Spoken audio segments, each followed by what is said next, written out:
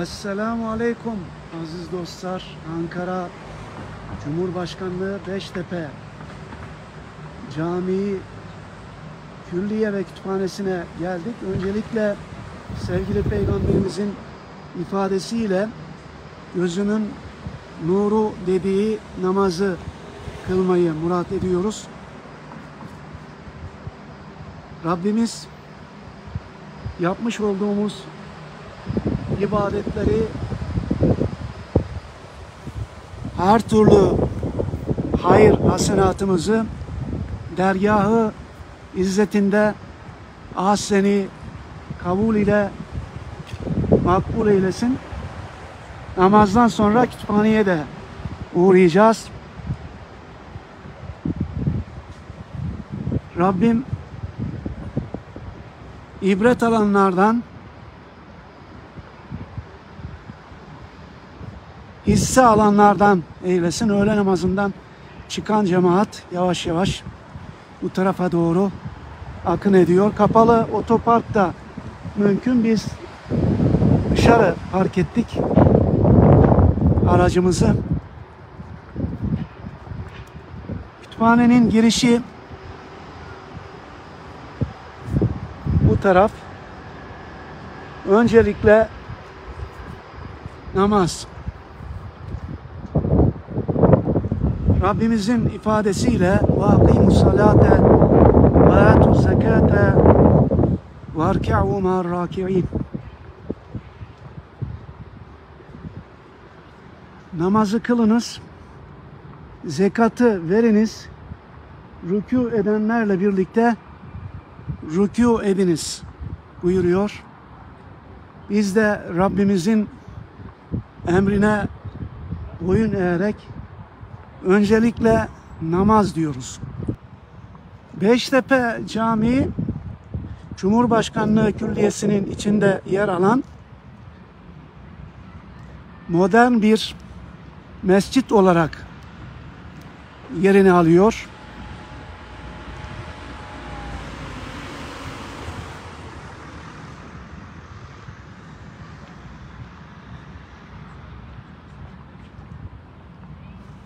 Güzel de bir çevre düzenlemesi yapılmış.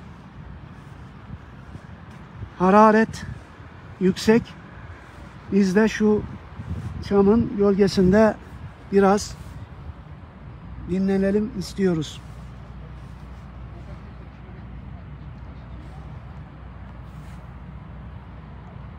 Öncelikle böyle güzide bir camiyi yapan, yaptıran projelendiren ve temelinden minaresine kadar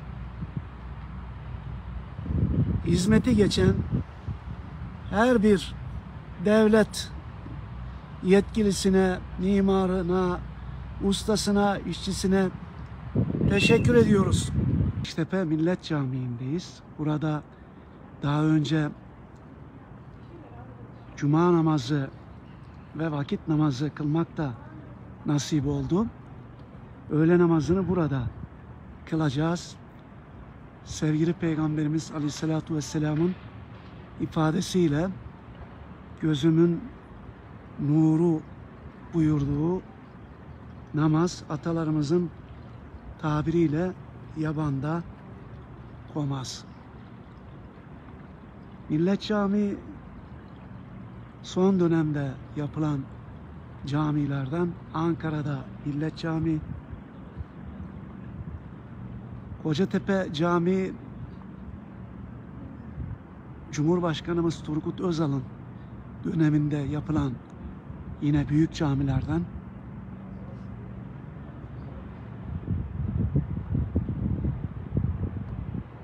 Allahu Teala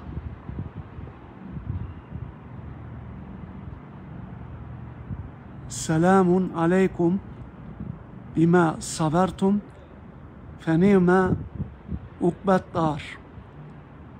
Sadakallahu azim. Hattat Hüseyin 1436'da yazmış. Burada lavabolar var. Abdestinizi rahat alabileceğiniz mekanlar.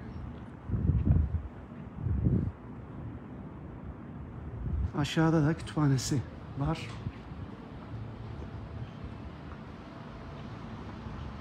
Lavaboları da göstermiş olalım.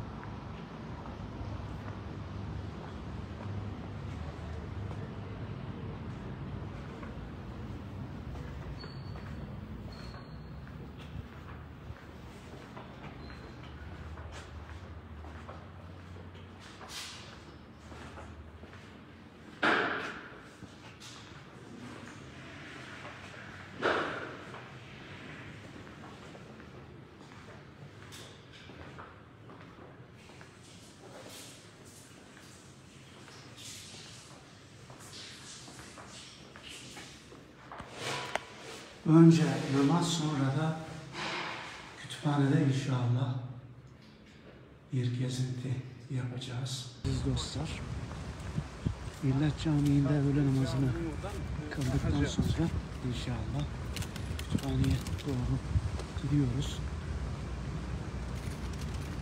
Dikkatimizi çeken bir kitap,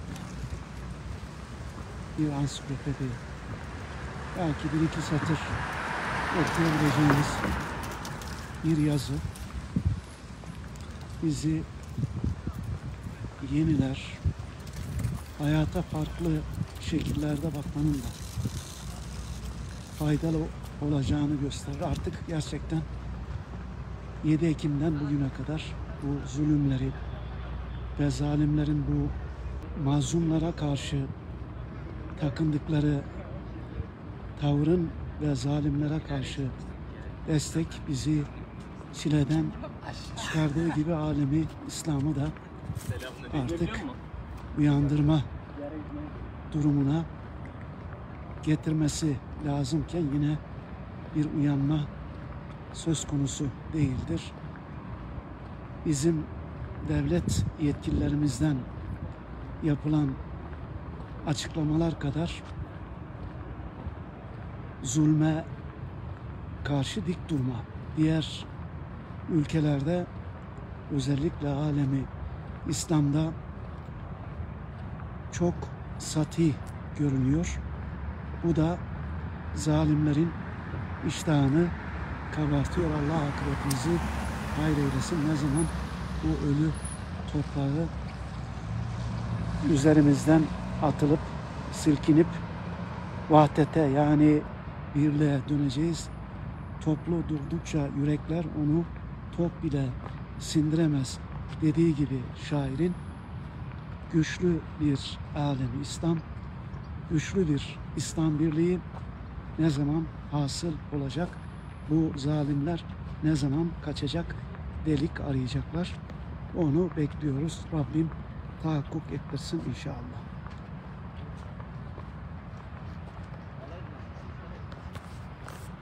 Millet Camii ile kütüphane arasında yaklaşık yürüyüşle 5 dakikalık bir mesafe var. Aradan geçeceğiz.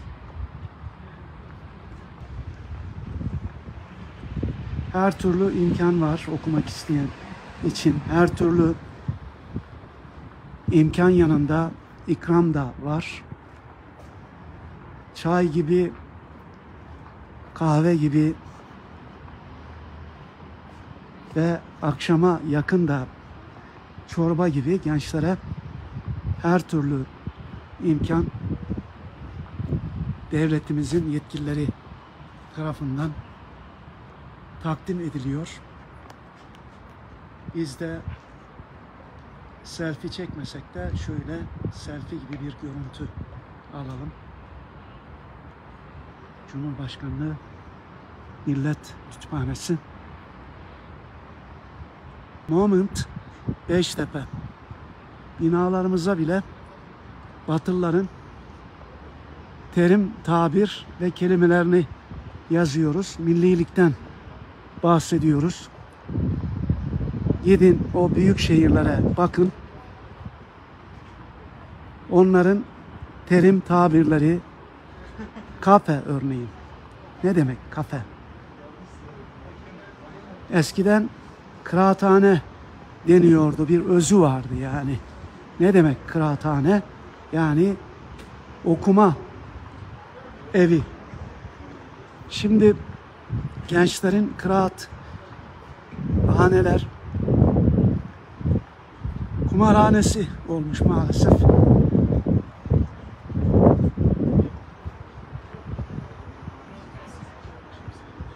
Oraya giden mutlaka bir resim anı resmi çektiriyor. Ben de Milli Kütüphane'ye geldim diye orada bir aile resim çekiyor.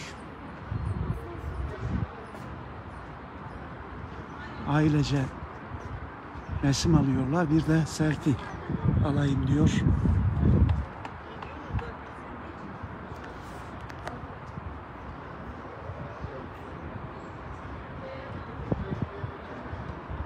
Güzide kütüphaneleri var. Ülkemizin bu güzide kütüphanelerden bir tanesi de Millet Kütüphanesi. Orada bir kitap koleksiyonu gibi bir anı çekmek için platform oluşturmuşlar.